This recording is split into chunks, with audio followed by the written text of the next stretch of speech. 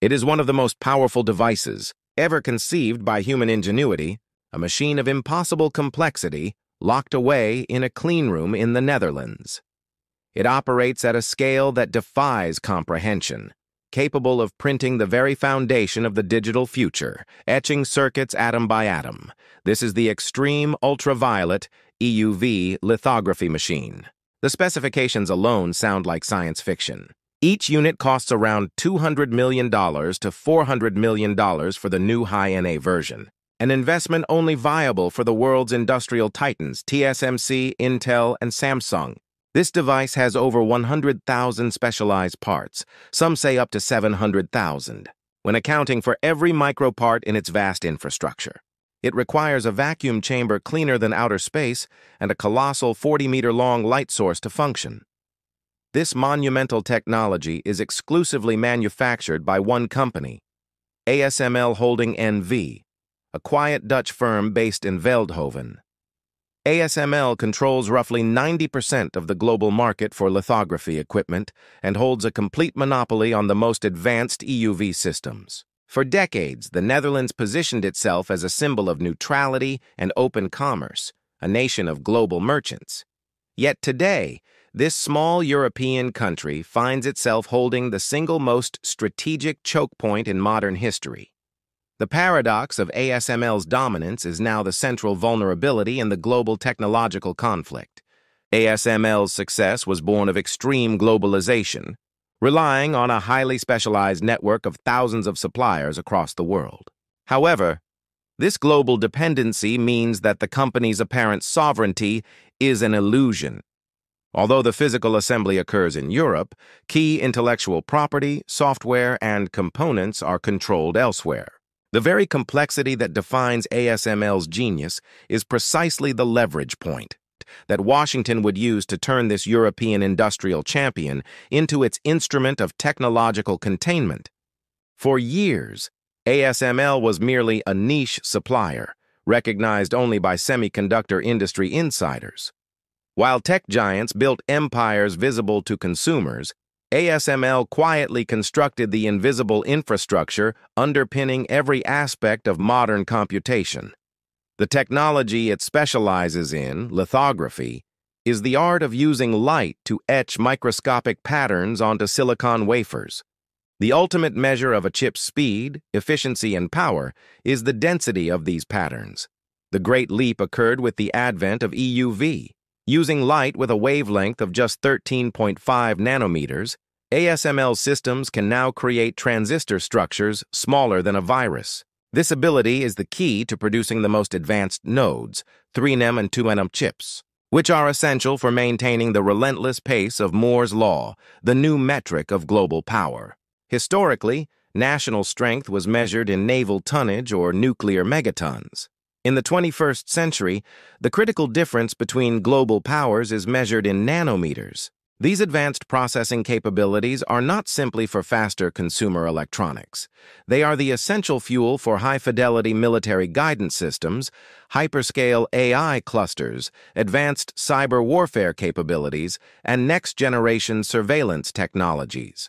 The technology is unequivocally dual use, confirming its inclusion under international export agreements like the Wassenaar Arrangement. ASML thus became the singular gatekeeper for advanced technological progress. Without its EUV machines, no major chipmaker can produce the most cutting-edge nodes. Washington recognized that controlling this singular choke point offered a strategic advantage unmatched by traditional military or economic sanctions.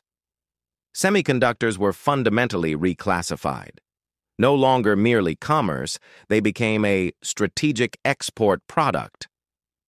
This critical redefinition justified the dramatic diplomatic moves that followed transforming an obscure piece of manufacturing equipment into a geopolitical weapon capable of throttling an opponent's processing power without firing a single shot. The shift from observation to aggression occurred quietly, away from public view, in 2019. As trade tensions between the U.S. and China spiraled, American officials descended upon The Hague, Their objective was not negotiation, but the delivery of a decisive ultimatum to the Dutch government. The target was a specific sales order.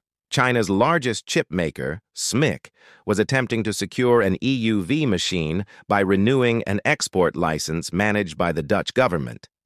The stakes for ASML were immense. The company was counting on realizing billions of euros worth of sales in China. However, the U.S. appeal was framed not in commercial terms, but in existential ones. Crucially, American officials shared a classified intelligence report with Dutch Prime Minister Mark Rutte.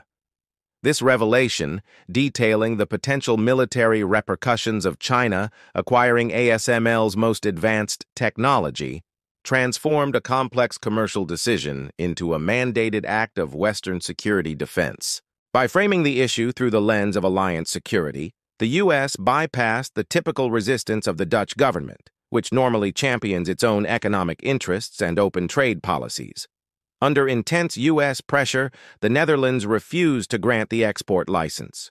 That single administrative decision to block the sale of one machine marked the true birth of the technological containment strategy. It demonstrated a cold, subtle ruthlessness, Washington had discovered that by controlling one irreplaceable manufacturing tool, the ASML EUV system, it could effectively paralyze an entire nation's ambitious goals for advanced technological infrastructure. This successful coercion established the definitive blueprint for future containment efforts, proving that targeted pressure on a critical node could yield maximal geopolitical results.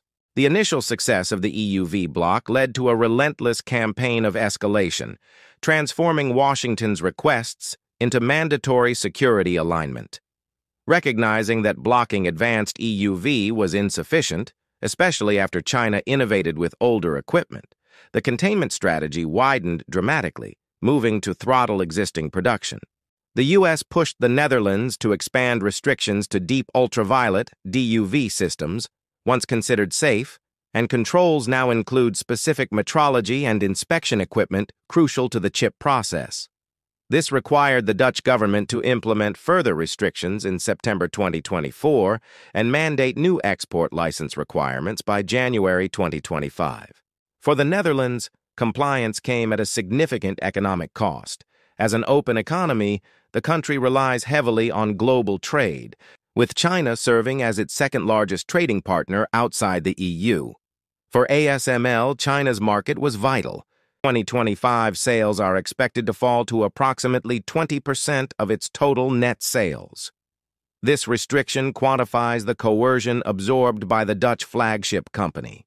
The expansion to DUV systems reveals a strategic shift toward economic warfare. The goal moved beyond denying 3nm chips it became about denying China the ability to scale up existing less advanced chips efficiently. The U.S. strategy, enforced through its Dutch proxy, aimed to increase the cost and complexity of indigenous Chinese production, ensuring a widening technological gap.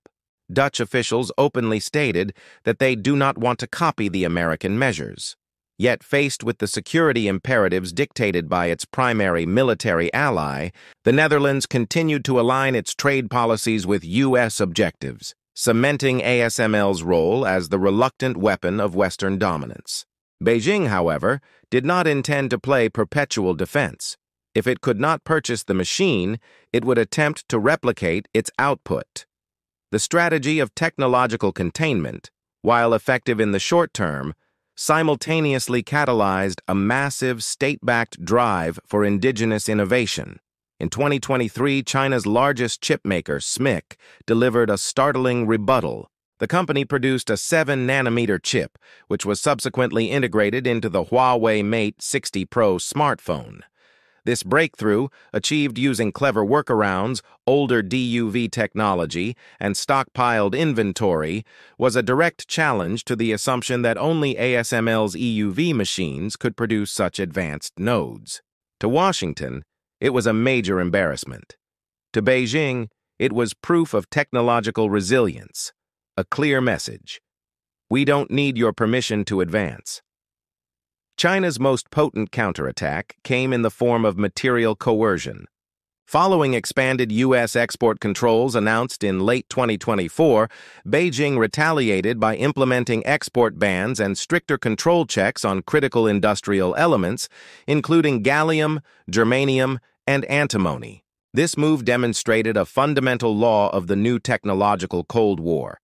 While the West, anchored by ASML, controls the complex lithography process, China controls the key elements, gallium and germanium, vital ingredients for compound semiconductors, which are essential for advanced telecommunications, fiber optics, and specialized military chips. The sudden strategic denial of these raw materials destabilized global supply chains and forced Western manufacturers to scramble for alternatives. Europe's reliance on others is a two-way street, and the continent is now facing a serious dual dependency crisis reliant on the U.S. for the most advanced machinery, and reliant on China for the indispensable raw components needed to utilize that machinery. The geopolitical cost of this technological conflict has fallen disproportionately on Europe, primarily through the erosion of Dutch strategic autonomy. Europe's ambition has long centered on achieving semiconductor sovereignty, positioning ASML as the indispensable engine of continental self-reliance. Instead, the company's success has been appropriated, transforming it into an administrative extension of U.S. foreign policy.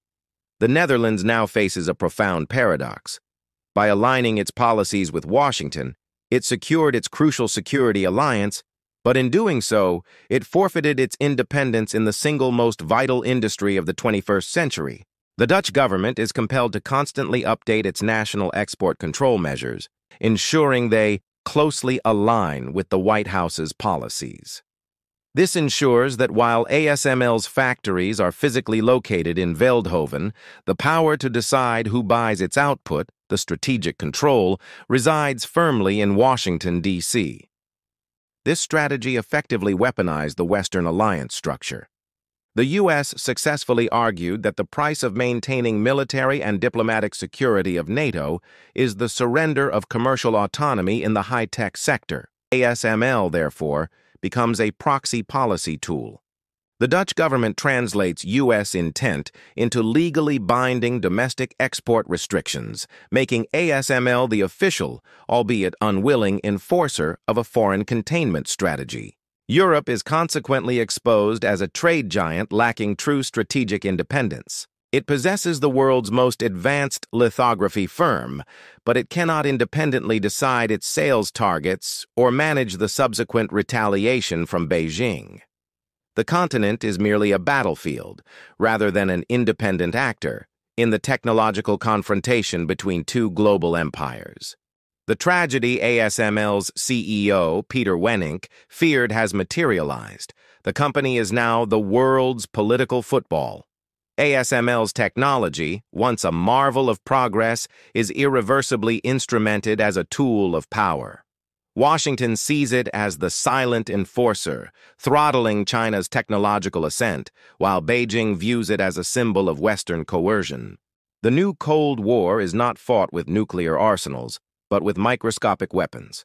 The battlefield is defined not by land or sea, but by circuits measured in nanometers. This conflict demonstrates a profound truth. Control over foundational infrastructure, such as ASML's 90% monopoly on EUV, offers a more potent form of geopolitical leverage than controlling resources. This control dictates the pace of global advancements in AI, military hardware, and economic competitiveness. The consequences are permanent for Europe. ASML, once the engine of European innovation, is now an extension of U.S. policy, fundamentally compromising the continent's strategic autonomy. The Netherlands faces a structural dilemma. Comply and subordinate its commercial interests to security demands or risk security retaliation. The fight for semiconductor sovereignty is, ultimately, a struggle for survival in the 21st century centered on this small Dutch company. The world, addicted to speed, created a dependency so profound that a single machine dictates the balance of continents. ASML, the quiet genius, stands at the crossroads of empires. Every laser pulse inside its vacuum chambers writes not just circuits, but the next chapter of global power. And perhaps that is the most dangerous truth of all. Whoever controls the light controls the future. By limiting access to this critical technology, the ripple effects will be felt across the entire global electronics industry. What does this mean for the future of tech, from our smartphones to global supply chains? It's a complex chess game with massive stakes. What are your thoughts on this? Let me know in the comments below. And if you want to stay updated on big tech news like this, make sure to subscribe. Thanks for watching.